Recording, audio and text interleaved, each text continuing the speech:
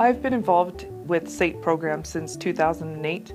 I taught for five years um, as a daytime instructor. There's been some studies that have been done that show that girls make a determination about what they want to do in industry when they're in junior high and boys make that determination usually in grade 12 or after graduation. And so in order to get girls at an earlier age, I decided to do a SAIT camp targeted for girls um, to show them what instrumentation is all about. I found a robot and how we can do different sensors and stuff and felt this was a good way to introduce this to girls at an earlier time and show them more about it and get them more excited about about this industry. They're also going to learn about building this robot and how to program it so that it can use the touch sensors and light sensors. So this sensor here helps him determine whether his mouth is open or closed. So you can see that it blocks it there. And this one here is an infrared sensor which helps him determine when he's full.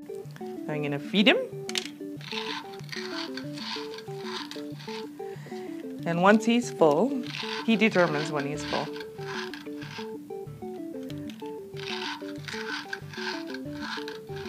I never know when he's going to determine he's full.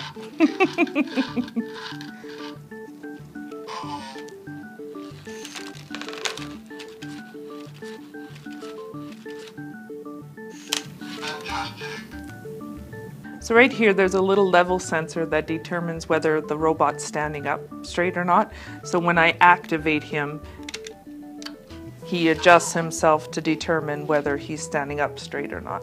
And so now he's standing up straight.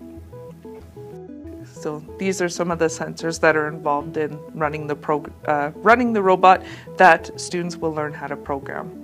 After they're done the week of camp in the, on the Friday afternoon, there's a little show and tell where all the parents of the students can come and see what they spent the week doing at the camp. And the fun part about this is that the kids will actually get to take their robots home that they built with them.